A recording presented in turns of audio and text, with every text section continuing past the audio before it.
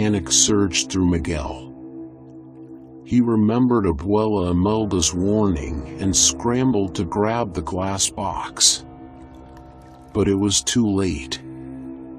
The colossal dog, its cosmic eyes now blazing with fury, lunged. Miguel barely dodged its snapping jaws, the blue coat shimmering as it deflected the attack. He sprinted towards the exit, the weight of the stolen riches a heavy burden on his conscience. The dogs, surprisingly swift for their size, gave chase. Miguel scrambled down the tree, the rough bark scraping his skin. He could hear Abuela Imelda's cackle echoing in his ears, a sound that sent shivers down his spine. Reaching the ground, Miguel sprinted towards the village, the dogs hot on his heels. The villagers, startled by the commotion, watched in disbelief as a ragged man chased by three magnificent dogs tore through the dusty streets. Miguel, his lungs burning, reached the safety of his ramshackle hut. He slammed the door shut, the flimsy wood barely holding against the dog's onslaught. They barked ferociously, their combined roar shaking the very foundations of the hut. Inside, Miguel collapsed onto his cot, his heart hammering like a trapped bird. He clutched the glass box, the only reminder of his foolish greed. Shame nodded him, he had risked everything for riches and come away with nothing but fear and a guilty conscience. The barking continued for what felt like an eternity. Finally, as the first rays of dawn painted the sky with streaks of pink and orange, the dogs fell silent. Exhausted and remorseful, Miguel drifted into a restless sleep he awoke to the sound of a gentle tapping at his door. Hesitantly, he rose and peeked through a crack. On his doorstep stood Xochitl, the kind-hearted baker's daughter. Her eyes, usually sparkling with warmth, held a hint of worry. Miguel, she said softly, everyone is talking about yesterday. Are you all right? Miguel hesitated. Shame threatened to consume him, but Xochitl's genuine concern loosened his tongue.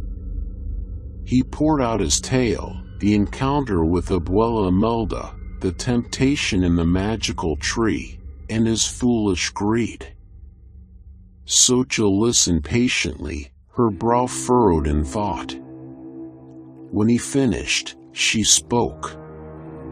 Miguel, she said, you may have made a mistake, but there's still time to fix it. Abuela Imelda is known for her tricks, but she is also fair. Perhaps, if you return the stolen riches and offer her the glass box, she might show mercy. Miguel's heart flickered with hope. He knew it wouldn't be easy, but the alternative, living with the guilt and fearing Abuela Imelda's wrath, was far worse. He thanked Xochitl for her advice and set about formulating a plan. He gathered the stolen treasures, his ill-gotten gains now a weight on his soul. With a heavy heart, he made his way back to the mystical tree. The climb was even harder this time, his legs shaky and his spirit deflated. Reaching the summit, he found the tree bathed in the morning sunlight.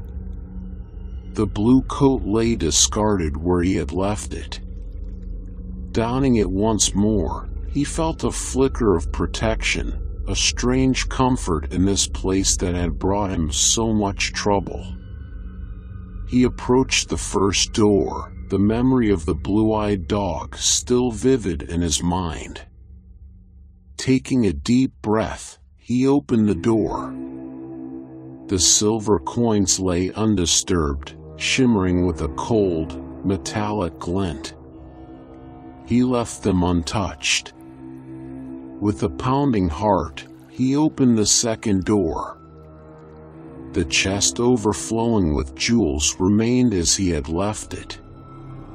Shame washed over him, hotter than the midday sun.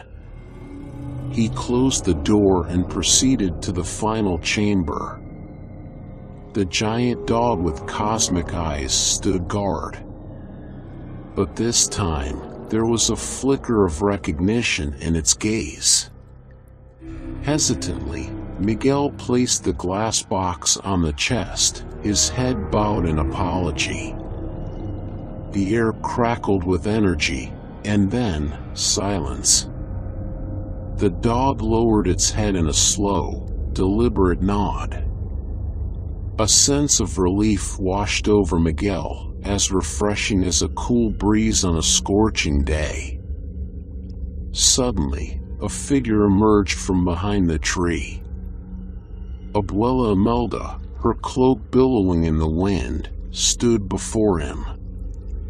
Her eyes, no longer mischievous, held a hint of amusement. You've learned a valuable lesson, Miguel, she rasped, her voice like dry leaves rustling. Greed is a fleeting pleasure, while honesty brings true peace.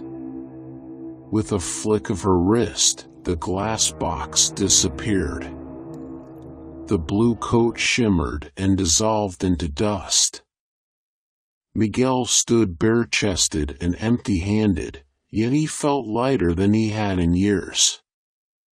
Go,